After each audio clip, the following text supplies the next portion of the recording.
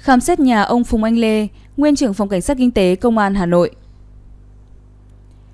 Theo ghi nhận của báo chí, khoảng 20 giờ tối 21 tháng 9, tổ công tác của Viện Kiểm sát Nhân dân tối cao và cơ quan công an đi trên hai ô tô biển xanh đến khám nhà ông Phùng Anh Lê trên đường Nhân Hòa, Nhân Chính, quận Thanh Xuân, Hà Nội.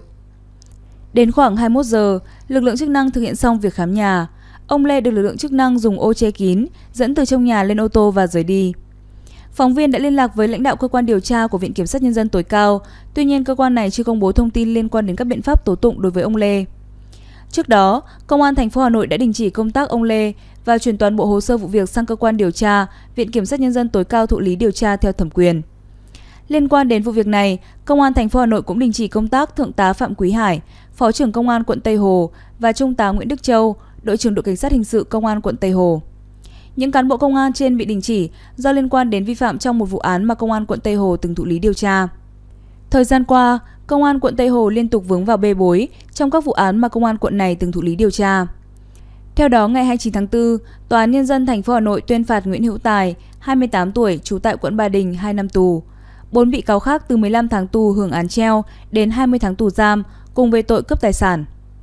Đáng chú ý, vụ án này xảy ra năm 2016 tại quận Tây Hồ, nhưng công an quận này không xử lý hình sự.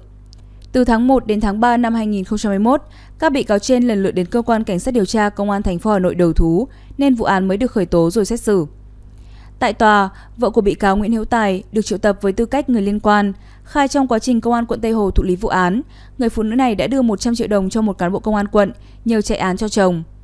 Các cơ quan tố tụng xác định vụ việc trên có dấu hiệu phạm tội xâm phạm hoạt động tư pháp nên văn phòng cơ quan cảnh sát điều tra công an thành phố Hà Nội đã thụ lý giải quyết bằng vụ án khác. Ngoài ra, hồi tháng 1 năm 2021, Tòa án Nhân dân tỉnh Bắc Ninh tuyên tử hình đối với bị cáo Lê Thanh Hưng, 30 tuổi trú tại huyện Thuận Thành, tỉnh Bắc Ninh, về cả hai tội giết người và cướp tài sản. Theo hồ sơ vụ án, Hưng là cháu ruột của bà NTN, 56 tuổi trú tại thành phố Bắc Ninh. Do thường xuyên ăn ngủ tại nhà bà N, nên Hưng biết quy luật sinh hoạt của gia đình bà.